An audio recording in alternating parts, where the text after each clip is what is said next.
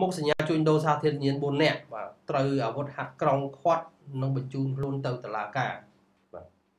នៅសាលាដំបងខេត្តនៅព្រឹកថ្ងៃទី3ខែសីហាឆ្នាំ2018មុខសញ្ញា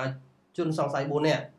ជួញដូរនិងប្រើប្រាស់សាធារណញ្ញាណត្រូវកម្លាំងសមត្ថកិច្ចស្រាវជ្រាវនិងស៊ើបអង្កេតរហូតដល់មានការខាត់ខ្លួនបានខណៈដែលកម្លាំងសមត្ថកិច្ចផ្ដល់ព័ត៌មានបានតែកម្លាំងសម្ងាត់ផ្ដល់ព័ត៌មានទាន់ពេលវេលាមន្ត្រីជំនាញអាវុធហាត់ក្រងបានឲ្យដឹងថា របស់កម្លាំងរបស់លោកបានចុះបំពេញបេសកកម្មទាត់បេសកកម្មទាន់ហេតុការគណៈពេលបានទទួលទូរស័ព្ទទទួលព័ត៌មាននៅវេលាម៉ោង14:00នាទីថ្ងៃទី2បាទខែសីហាឆ្នាំ2018នៅត្រង់ចំណុចក្រុមទី32ភូមិចំការសំរោងសង្កាត់ចំការសំរោងក្រុងខេត្តបាត់ដំបង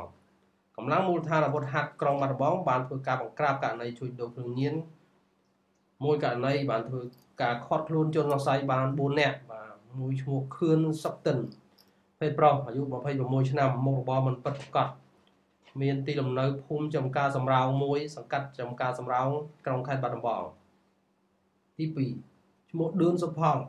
ហៅចិនភេទប្រុសអាយុ28ឆ្នាំមុខរបរជាងដែកទី3ឈ្មោះឈឿនវណ្ដា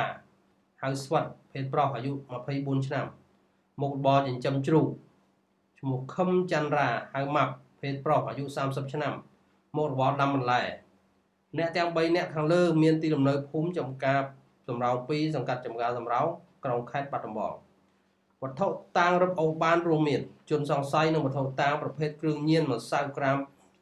ពណ៌សថ្លារឹងបាទគេហៅថាម៉ាតកកបាទឬក៏មេតំវីតាមីនបាទអាយចំនួន2កញ្ចប់ទម្ងន់0.43ក្រាម ចិត្តកន្លះគីឡូដល់ហើយចា៎ម៉ូតូ3គ្រឿងនិងទូរស័ព្ទដៃ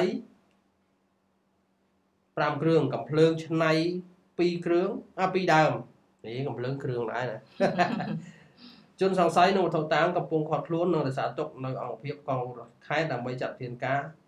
តាមនីតិវិធីបន្តបាទអញ្ចឹងក្នុងនាមស្ថាប័នធានំ TV online យើងនេះសូមឲ្យបងប្អូនយើងនាំគ្នាប្រុងប្រយ័ត្ន បាទបំផុតគឺរឿងគ្រឿងញៀននេះឯងបាទទី1សេចក្តីសុខក្នុងគ្រួសារបងប្អូនបើមានកើតបញ្ហាអ្នកជក់ថ្នាំញៀនហើយគឺកំពុងតែត្រូវបំផ្លាញបាទសុភមង្គលក្នុងគ្រួសារក៏ដូចជាសម្បត្តិទ្រព្យដែរ